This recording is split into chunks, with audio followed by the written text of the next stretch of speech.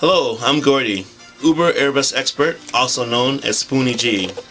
I'm going to talk to you further about my airbrushing techniques on fondant and buttercream cakes. Airbrushing is something anyone can learn. It might not it might look difficult here, but it just takes a little time and practice and you really can learn how to do it. Today I'm going to, to airbrush a picture of an equestrian favorite since Roman times.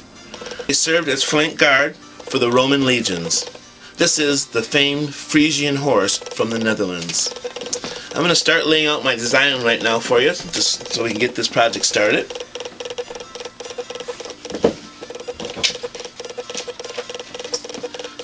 I start out laying the design out with airbrushing and stencil. My main way of designing something is freehand, but I'm going to use a little stencil also. I custom make my own stencils, which is part of my part of the technique that I use to make my designs a little unique there. I'm putting the design on a fondant cake, like in this particular case, you want to do start out with the darkest part of the design. In this case, it'll be the nose and the eyes, pretty much.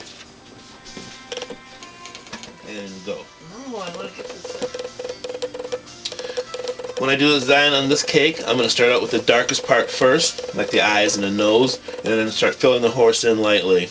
I'm not going to see much of a change for a little bit.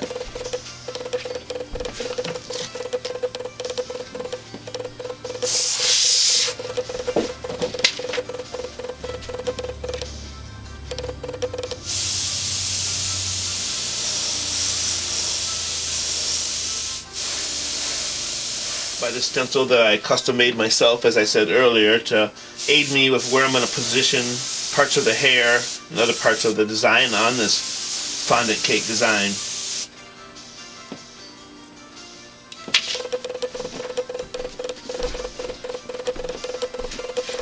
Now I'm going to start filling in the horse a little bit, our Frisian horse.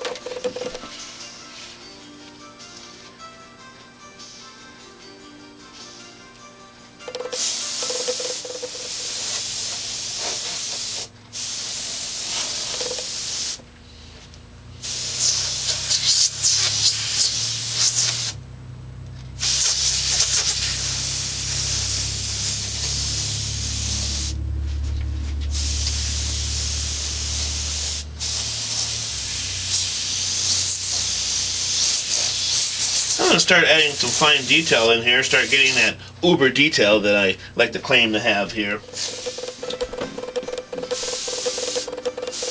And now I'm going to really start adding as much detail as I can and then move on to the more subtler and vibrant colors that are going to add the punch to this kind of a design.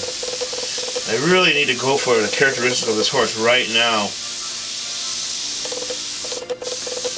A true fan of this kind of horse is going to know exactly if I know what I'm doing or not. This is not just your Sunday go to meeting kind of horse silhouette here. I have to show the kind of horse it is also. The more folds and layers and little textures and vein work you can add, the more dramatic the design becomes. And using black, it's a challenge anyway. But in its challenge, it has, does something that you can't do with any other color, all the subtleties you can add in vein work and shadowing. I think I'm going to stop on this right now and start adding color here because this is pretty much good to go. Anything else I put on here is just going to be icing on the cake. Some of my pre-made stencils are just right for the occasion, custom made by me.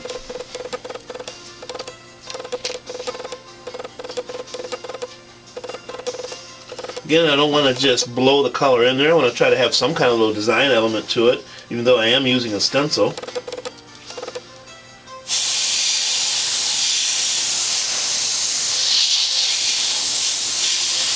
I also want to do it so that it has a little bit of a fade, fades away near the bottom. I can still add a little bit of muscle texture, even though all I'm doing is very loose,